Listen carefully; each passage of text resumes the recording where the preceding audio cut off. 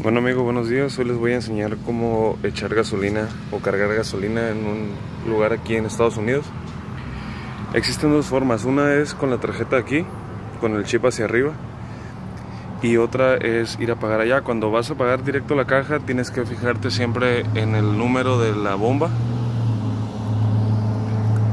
Y cuando vas adentro le indicas la cantidad que quieres en el número, en la bomba que tú quieres poner la gasolina. Por ejemplo, puedes decir quiero 20 en la 8 o, 15 o la cantidad que tú quieras. Eh, en esta ocasión yo voy a pagar con tarjeta. Primero lo voy a meter y luego les voy a enseñar cómo, cómo se pone, cómo se maneja aquí en la pantalla.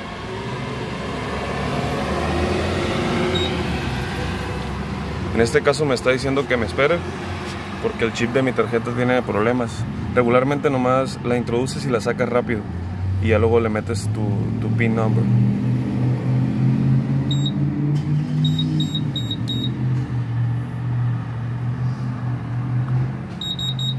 Ok, ahora me pide que retire la tarjeta.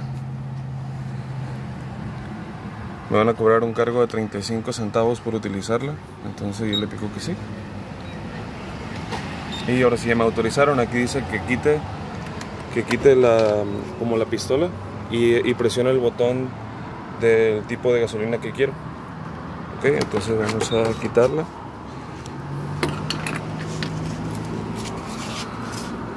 Y voy a agarrar este. Y aquí se pone en ceros. Aquí es diferente que en México. En México por lo regular siempre hay un despachador. No sé si en otros países de Latinoamérica. Y a él le dice lo que, la cantidad que quieres y él se encarga del resto. Aquí tú estás manejando cuánto quieres. Tú decides cómo echarle y todo ese rollo.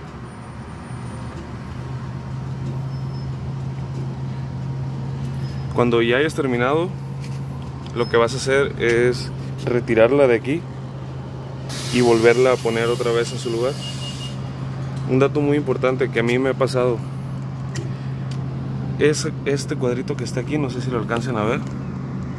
Este es el que indica, tiene un sensor hacia adentro que indica que ya pare el conteo para que si tú la pones luego no llegue alguien más y con tu dinero se sirva gasolina.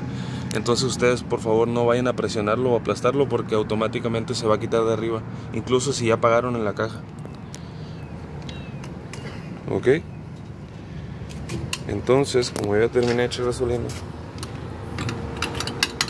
no sacudo que quede el exceso y listo.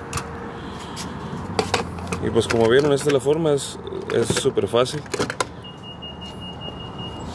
Y ya aquí al final te preguntas si necesitas recibo. Igual sí o no, yo no, yo no lo necesito. Y listo, es todo. Pues bueno, muchas gracias por ver el video y como siempre les digo, ustedes háganlo por sí mismos. Y nos vemos en el siguiente. Gracias.